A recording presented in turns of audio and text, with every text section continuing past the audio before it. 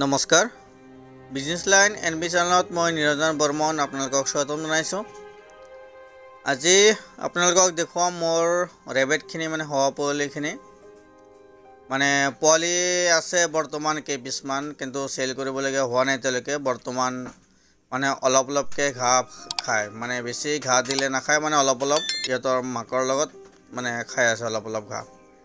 তো ইয়াত দিছিলোঁ দুপৰীয়া সময়ত চাপৰ আৰু চাপৰ মানে ব্ৰাণ যিটো আমি চাপৰ বুলি কওঁ আৰু লগতে ভাত। এই দুটা মানে মিক্স কৰি দিয়া হৈছিল। তো চাওক ইয়াত মানে ডাঙৰবিলাকেও খাই আছে আৰু সৰু পোৱালিবিলাকেও খাই আছে। মানে পোৱালিখিনিৰ বয়স মানে বিছ দিনমান হৈছে। আৰু বিছ দিনতে চাওক কিমান ধুনীয়াকৈ ইয়াতে দানাবিলাক খাই আছে। মানে বৰ্তমান সিমান দানা নাখায়। অলপ অলপ চেলেকিহে আছে। আৰু এইবিলাক চাওক কিমান সৰু সৰুবিলাক মানে বেছি ডাঙৰ হোৱা নাই আৰু। কিন্তু অলপ অলপ বৰ্তমান দানা চেলেকিহে থাকে। তো কিন্তু এই সময়ত কিন্তু পোৱালিখিনি মৰি থাকে। বহুতে মোক ফোন মাৰে যে পোৱালিবিলাকে যেতিয়া নেকি অলপ অলপ দানা চেলেকে বা অলপ অলপ মানে ঘাঁহ বনবিলাক খায় তাৰপিছত পোৱালিখিনি লাহে লাহে মৰি যায়। মানে ইয়াৰ কি হয় মানে বেমাৰ আজাৰ বহুত হৈ যায়। তো এইটোও মানে পোৱালি দিব আজি এসপ্তাহৰ ভিতৰত মানে এইটোৱে পোৱালি দিব। সেইটো পূৰা ফুল ৰেডি হৈ আছে আৰু এটা আছে এইটো এই দুটা মানে পোৱালি দিব।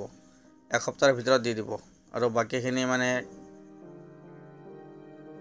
এইটো দেৰি আছে আৰু এইখিনি। এয়া চাওক মানে কিমান ধুনীয়াকৈ মানে ঘাঁহখিনি খাই ঘাঁহ নহয় এইটো ব্ৰাণ আৰু ভাত মিক্স কৰি দিয়া আছিল। আৰু ঘাঁহো খায় ইহঁতে অলপ অলপ।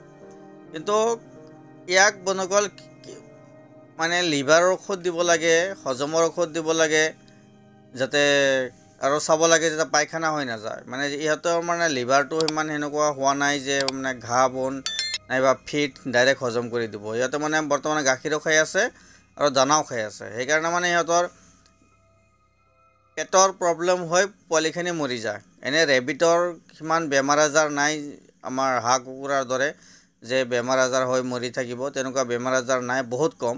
কিন্তু পোৱালিৰ ক্ষেত্ৰত অলপমান মানে লক্ষ্য কৰিব লাগে যেতিয়া নেকি এনেকুৱা দানা খায় এই দানা খোৱাৰ সময়ত মানে এসপ্তাহৰ ভিতৰত পোৱালিবিলাক দুটা এটা ক্ষীণাই মানে মৰি থাকে। মানে কি হয় সিহঁতৰ লুজ মচন আহি হৈ যায়। লুজ মচন হ'লে মানে পোৱালিখিনি মৰি যায়। মানে ঘাঁহ বন খাব এতিয়া চাওক এই সৰু সৰু পোৱালিবিলাকে যে ঘাঁহ বন খাই আছে কিন্তু ডাইৰেক্ট কিন্তু ইয়াৰ পেটত ঘাঁহ বনখিনি হজম নহ'ব। তো ইহঁতক আমি হজমৰ কাৰণে ঔষধ দিম। তো ইয়াত চাওক অলপ ডাঙৰ চাইজ আছে। তো ইয়াকো আমি হজমৰ কাৰণে ঔষধ দি আছোঁ। কি হয় মানে এইবিলাক বহুত গুৰুত্বপূৰ্ণ কথা কিছুমান জানিবলগীয়া আছে।